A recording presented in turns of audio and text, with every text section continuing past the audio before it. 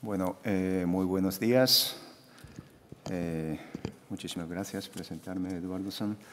Y señor Peña ya tiene experiencia ah, durante 37 años en Japón, así que posiblemente conoce Japón más que yo, pero bueno, hoy me toca. Entonces eh, voy a hablar con ustedes un poquito eh, sobre Japón, mercado de Japón. Y bueno, eh, el primero quería agradecer por la iniciativa del gobierno vasco y SPRI y también Basque Trade and Investment. me da una oportunidad a conocer a ustedes, eh, empresarios como vascos. Y mm, para mí no, no, no, no, es la primera vez visitar a Bilbao, País Vasco. Eh, ya en los años 90 ya me acerqué a País Vasco y bueno, era un poquito más joven. Bueno, ahora estoy joven poquito, pero mucho más joven era. Y eh, fue una experiencia mm, muy eh, curiosa y también como interesante personalmente. Bueno, eh, como todos los japoneses, eh, normalmente como llega a aterrizar en avión a Madrid o Barcelona, donde sea. Y obviamente no conocíamos, no conocemos el norte, parte del norte de País Vasco, o sea, como de España. Y sorprendí mucho la cultura diferente de buen sentido y eh, también como mm, algo como similaridad. Mm, no sé si igual me equivoco, eh, como un poco de eh, serios, mm, trabajadores, igual como, como da impresión de como encerrados. Bueno, eso pasa siempre a los japoneses, igual. En ese sentido, me daba un sentido de un cariño, algo, un sentido diferente y ya desde ahí, como ya llevo como casi, bueno, 30 años relacionando con España y eh, siempre es un sitio eh, preferible para mí eh, dentro de España. Y bueno, hoy el tema es mercado de Japón. bueno, yo con sinceridad ah, les digo, la presencia de las empresas vascas en Japón mm, no es tan como grandes, eh, es una situación actual y tampoco la presencia de eh, las empresas japonesas. Aquí en País Vasco, pues sí hay, pero mm, yo creo que no es tan, eh, todavía no es suficiente, debería tener más oportunidad y posibilidad de hacer negocio. Es, eso mi, impresión, con sinceridad. ¿Y por qué, por qué no, no se acercan un poquito más? Bueno, la distancia física, tiempo, la cultura diferente, idioma diferente. Bueno, eso siempre hay, siempre hay cosas. Pero yo creo que mm, yo diría, mm, no había eh, algún como momento oportuno para ambas partes. Y en ese sentido, hoy quería presentar un poquito sobre Japón y tampoco voy a decirles algo como eh, imagen de eh, estereotipo de Japón, un poquito como moderno de, Japón, a ver, eh, a ustedes eh, les interesa un poquito las cosas de Japón. Espero que sí.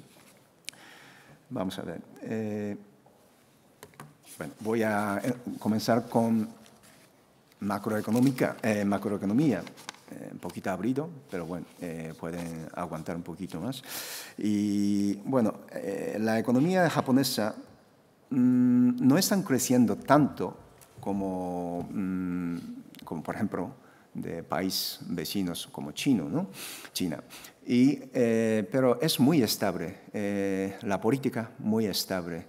Mm, también como la vida como de seguridad, como de ciudadanías, muy estable. O sea, es un país posiblemente mm, muy tranquilo y también para hacer un negocio mm, muy seguro Pero es verdad, eh, es un mercado mm, maduro, maduro, en ese sentido mm, a veces como cuesta como hacer como negocio. ¿no?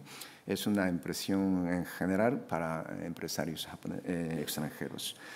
Y últimamente, bueno, ahí tiene un poquito de, bueno, ah, ustedes están viendo ahí, ah, sí, sí.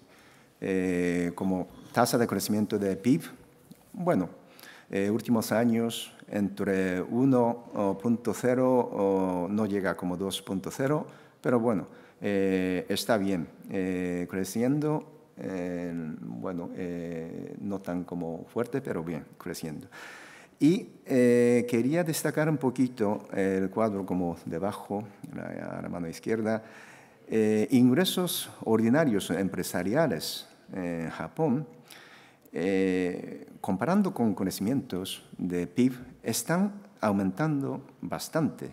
O sea, eh, aumentando 20 billones de yenes últimos como 3, 4 años. O sea, eso significa el ambiente de negocio no es tan mal, están bien. Y otra cosa que quería destacar un poquito el cuadro al lado. Eh, mm, bueno, tasa de desempleo hoy en día menos de 3%. O sea, eh, el mercado laboral más o menos está bien, no, no hay casi desempleo. O sea, eso significa también eso como mm, signo de como estabilidad de, eh, de social, el mundo social de Japón, ¿no? Y bueno, prácticamente no hay peligro y está muy bien. Y bueno, ahora eh, cambiamos un poco tema. Eh, ambiente para negocios, bueno, como cualquier país, como de europeas, eh, europeos también, mm, bajada de tasa efectiva de impuestos sobre sociedades cada vez más bajos, hoy en día alrededor de como 30%.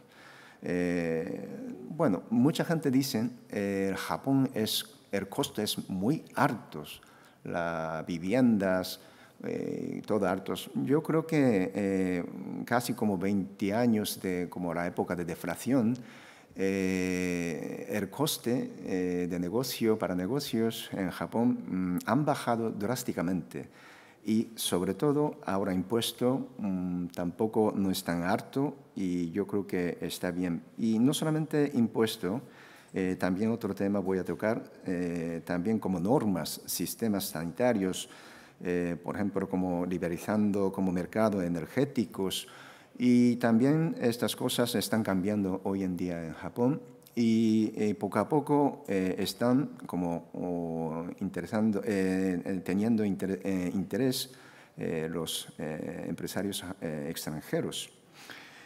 Y bueno, aquí quería mencionar una cosa muy importante. en este año 2018 van a firmar tratado de libre comercio entre Unión Europea y Japón.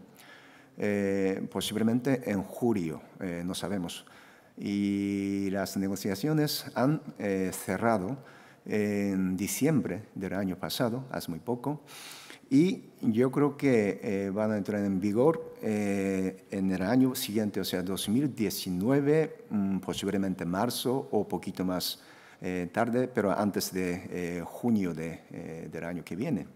¿Y qué va a cambiar? obviamente, eh, van a eliminar, eh, eliminar eh, arancelarios como de bastantes, como en todas áreas.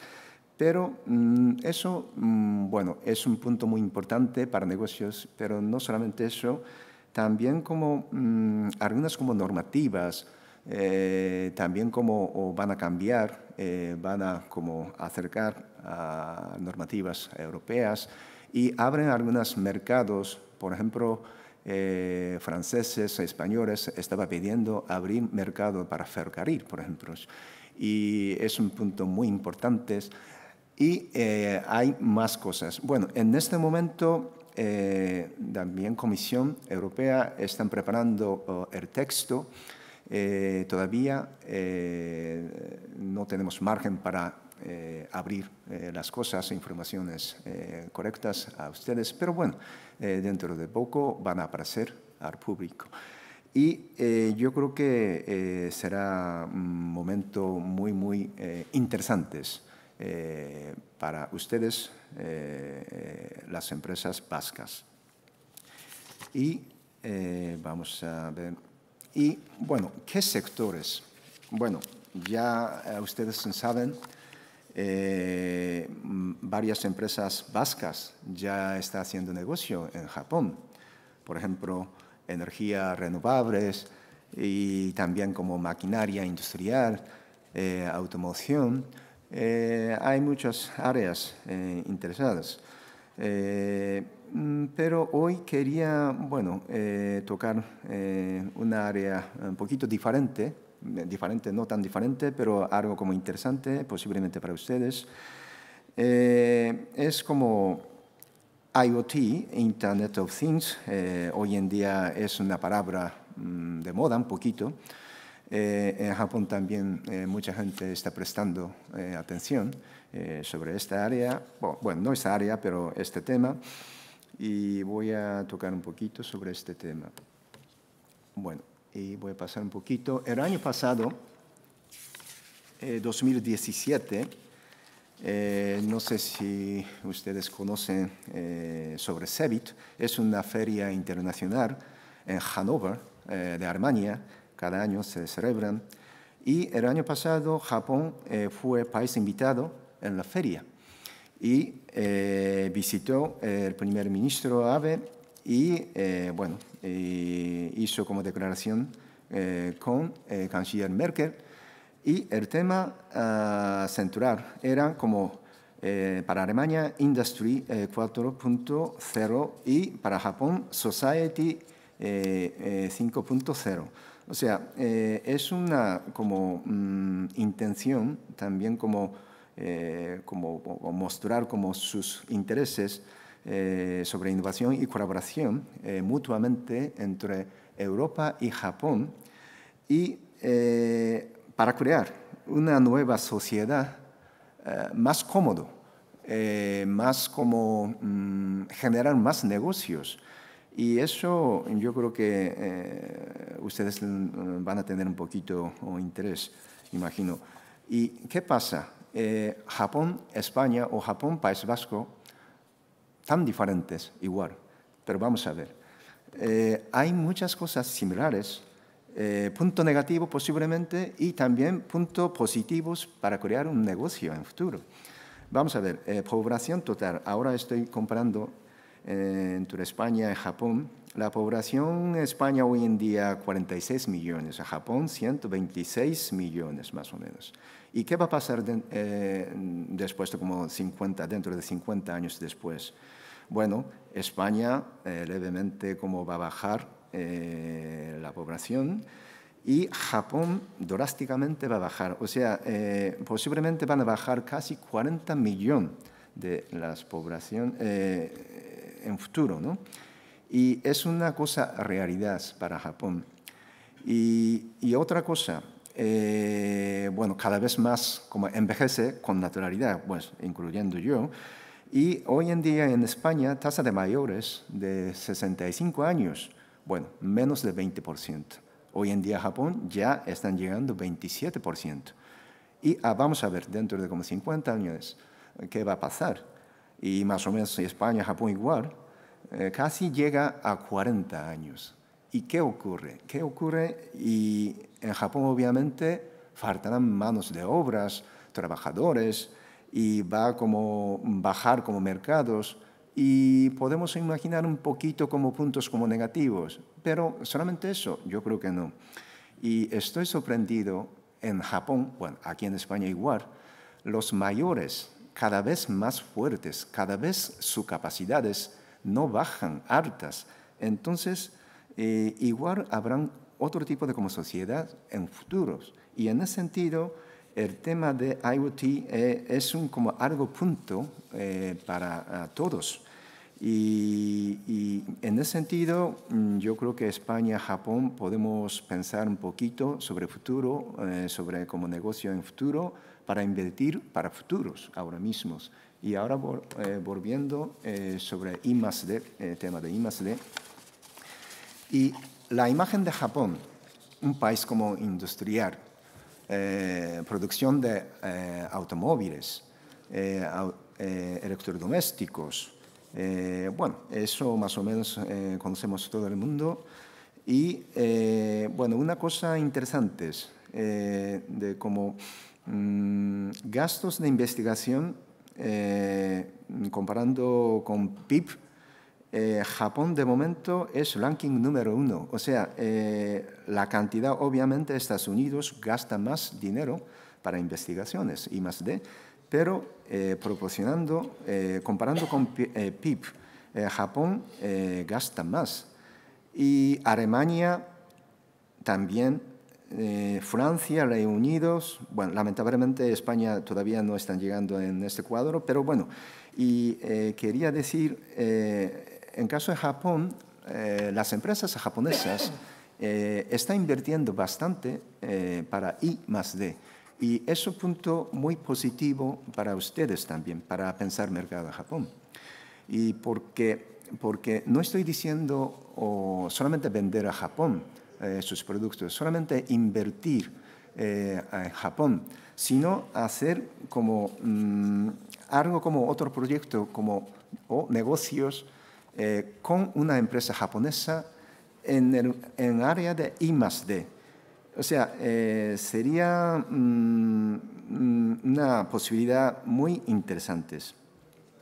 Y también, bueno, número de investigadores, no solamente en la universidad, eh, también como grandes empresas tienen su propio eh, centro de investigaciones y también de como laboratorios. Y ahí también habrá muchas cosas interesantes. Y bueno, hoy quería destacar un poquito sobre este punto. Eh, vamos a ver eh, qué posibilidad tenemos entre, eh, bueno, en País Vasco o pensando en el mercado de, mercado de Japón. Y voy a pasar un poquito, bueno, ahora tengo que comentar un poquito sobre Jetro. Ya eh, don Eduardo eh, eh, mencionó sobre Jetro. bueno, nosotros estamos trabajando sobre todo a traer como inversiones extranjeras al Japón y también estamos ayudando en el sentido las actividades empresarios extranjeros en Japón y también obviamente apoyamos a empresarios japoneses en el exterior, sus actividades en el exterior.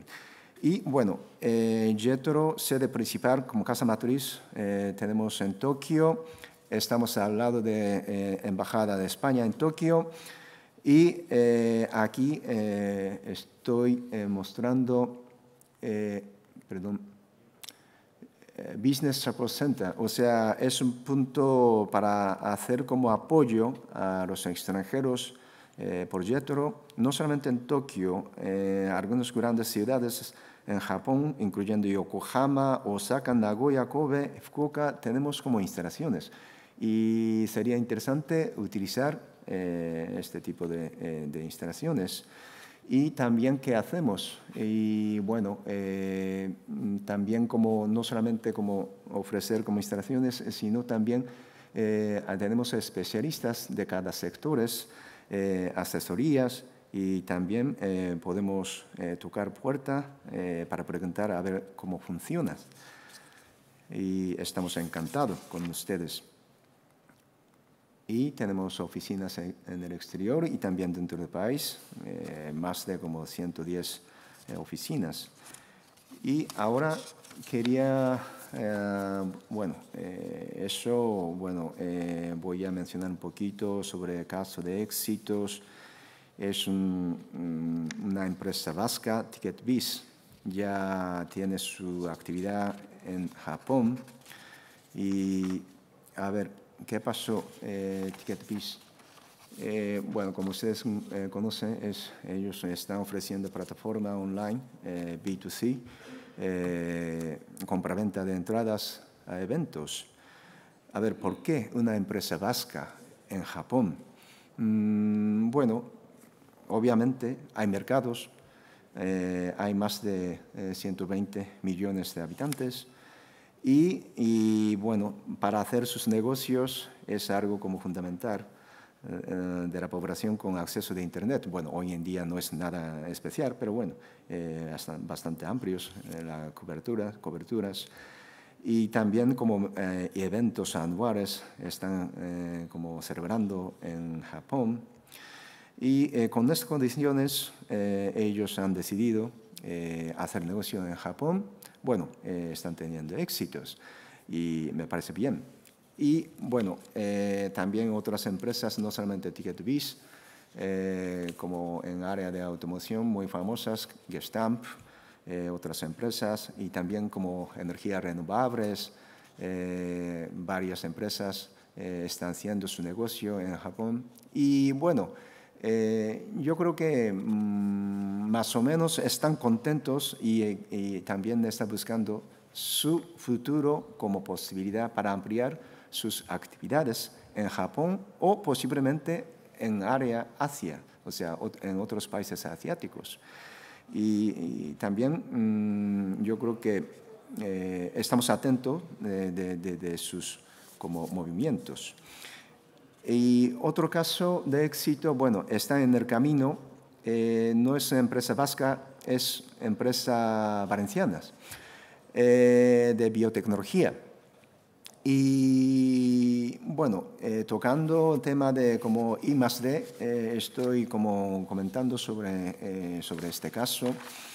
A ver qué pasa. Y bueno, es una empresa valenciana y también como pioneros en genéticas reproductivas, fuerte apuesta por I D y está haciendo su inversión en Japón. bueno, no solamente con empresas, sino también con, con una universidad, se llama Keio, también tiene eh, fama bastante sobre eh, medicinas. Y eh, bueno, aquí estoy colocando, como apuntando varios puntos interesados para empresas. Y es cierto, mm, e-, este mercado va como a aumentar.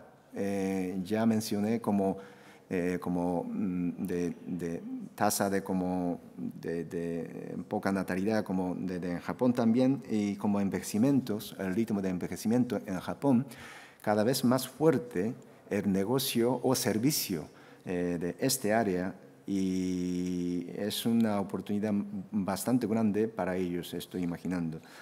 Y eh, bueno, eh, son dos casos, bueno, tampoco no voy a tocar eh, en el fondo de sus negocios, pero bueno, para un mm, poquito ver otros aspectos sobre el mercado de Japón, no solamente para vender maquinarias, bueno, también es muy importante, pero hay otros puntos muy interesantes, me parece. Y bueno, hoy también quería tocar un poquito mm, eh, el último, ¿no? Bueno, eh, la relación entre País Vasco y Japón. Yo creo que sobre todo mm, área como industrial, y también posiblemente I más eh, tecnología, innovación, innovación mm, será muy interesante. Habrá muchas posibilidades ¿no? para colaborar e intentar hacer como acercamientos de ambas partes. Y también eh, yo diría, mm, no solamente eh, áreas. Eh, bueno, siempre decimos, bueno, no sé, es, el tema es adecuado para aquí o no, pero bueno, sus como vecinos países como franceses, italianos, ellos manejan muy bien de negocios. ¿En qué sentidos? Porque vende imagen muy bien. Eh, por ejemplo, gastronomías, eh, culturas, eh, como modas. Eh, por ejemplo, mm, la mayoría de los japoneses no saben dónde viene aceite de oliva de Italia. O sea, posiblemente un tercio o uh, de, de, una botella de aceite de oliva viene de España. No saben eh, en realidad, pues porque están exportando fuertemente, sobre todo de Andalucía a Italia, eh, en barriles y en Italia embotellados, aceite de oliva, y eh, la mayoría de los japoneses no lo saben. Y eh, también tema de gastronomía aquí en País Vasco. Bueno, hoy en día ah, muchos japoneses conocen, come bien en Bilbao o San Sebastián, y eh, gastronomía vascas. Y en Tokio hay restaurante de alta categoría de, guía de Michelin, como si no me equivoco ya lleva como 12 estrellas de guía Michelin y sigue teniendo éxito. Y, o sea, eh, quería decir como no solamente como industria, sino también de cultural y también restauración o vinos. O hay muchas cosas eh, interesantes en el mercado Japón. Y también eso como em, eh, aumenta la imagen de País Vascos o como de España, eh, como vendiendo no solamente como máquinas, también como otras cosas, y eso sería muy interesante para ustedes y también para nosotros. Y es una cosa muy curiosa. Eh, los japoneses posiblemente gastamos bastante para comer, igual que vascos, y también nos gusta conocer cosas nuevas y intentar cosas nuevas. Y eh, en ese sentido, eh, yo creo que eh, sería muy interesante, por ejemplo, no solamente abrir un, restaurante vasco ahí en Tokio, sino, por ejemplo, para vender sus productos como agroalimentarios. por ejemplo, una escaparates para países vascos o cultura vascas, gastronomía vascas, algo como eh, hacer como mm, promocionar conjuntamente y con esto también hacer otro tipo de como negocios. Y eso yo creo que eh, van a tener bastante éxito en Japón, estoy casi seguro, porque sabemos eh, otros casos de otros países que está teniendo en Japón. ¿Y por qué? ¿Por qué no España? ¿Por qué no País Vasco? Y alguien tiene que intentar y obviamente Jetro vamos a colaborar eh, con este tipo de eh, intención o, como, no sé, eh, algunas como, mm, como planes, si ustedes tienen, con mucho gusto. Bueno, aquí tiene mi dirección, Jetro Madrid. Estamos en Madrid, lamentablemente no tenemos aquí en Bilbao, pero de vez en cuando puedo venir y puede llamar cuando quiera ustedes y puede mandar eh, correo cuando quiera ustedes y estamos encantados eh, con ustedes. Y hoy, eh, para mí, es un comienzo de conocer a ustedes y no es su último. hoy voy a empezar a conocer a ustedes y en ese sentido, por favor, acercarnos cualquier cosa, cualquier pregunta, aunque sea charla, para tomar un café a nuestra oficina en Madrid. Y de mi parte, casi terminando, bueno, si hay alguna pregunta o un tema interesante, eh, bueno, eh, también estoy muy encantado. Muchísimas gracias.